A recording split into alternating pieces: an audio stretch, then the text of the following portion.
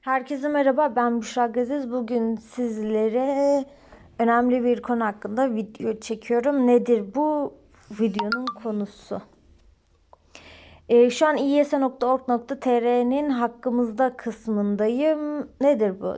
Ee, görüyorsunuz ki 6563 sayılı elektrik e, ticaretin düzenlenmesi hakkında bir kanun e, uyarınca e, diyor. Burada da okuyorsunuz. Belki şu an okumama gerek yok. Türkiye Odalar Birliği, Bolursalar Birliği Eğitim ve Kültür Vakfı tarafından kurulmuştur. Ayrıca Ticaret Bakanlığı tarafından da görevlendirilmiştir.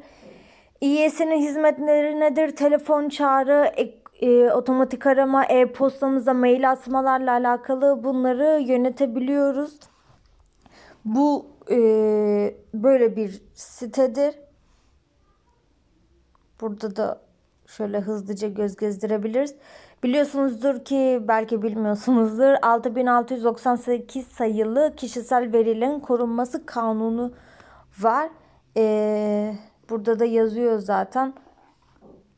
Bu kişisel verilerimizi yönetebiliyoruz. Buradan vatandaş girişine tıkladığımızda sitenin adı direkt hızlı girmek istiyorsanız eğer vatandaş.iys.org.tr Şurada benim şey hemen kayıtlı şeyim vardı. Buraya nasıl giriş yapabiliyoruz? E-Devlet ile giriş yapabiliyoruz. Telefon numaramızı buraya yazarak doğrulama kodu gönder tuşuna basarak e, giriş yapabiliyoruz. E-posta ile de giriş yapabiliyorsunuz. Ben şimdi E-Devlet ile giriş yapacağım. Daha önce kayıtlıydı çünkü.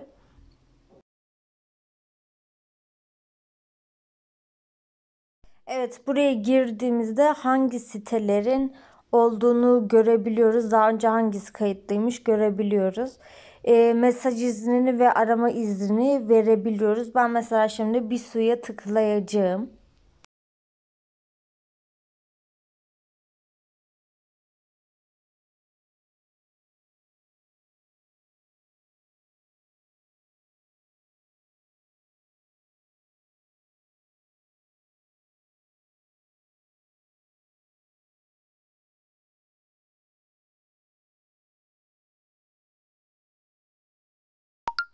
Evet şimdi de e-postama tıkladım. E-postama e, gelen mailleri sitelerini görebiliyorum. Mesela boşa tıklıyorum. Buraya tıkladığımda e, şey olduğunu görüyorum. Buraya tıklayarak red yapabiliyorum. Red'den sonra kaydete tıkladığımda gelmeyecektir. Ama ben şu an iptal diyorum. Değişiklikler yapılmasın. Aynen. Bazıları burada reddi ve onayı çevirdim. Bazıları onaylıydı. Ben silmiştim. Öyle.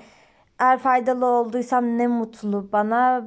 Benim önerim sizde bakın kendi telefon numaranıza ve e-posta numaranıza klasik bir cümleyi söyleyeceğim. Abone olursanız çok sevinirim. Ee, videomu beğenmeyi unutmayın. Yorum yapmayı da unutmayın. Sevgiler, saygılar. Bir sonraki videomda görüşmek üzere. İyi günler dilerim. Hoşçakalın. Mutlu, sağlıklı günler dilerim.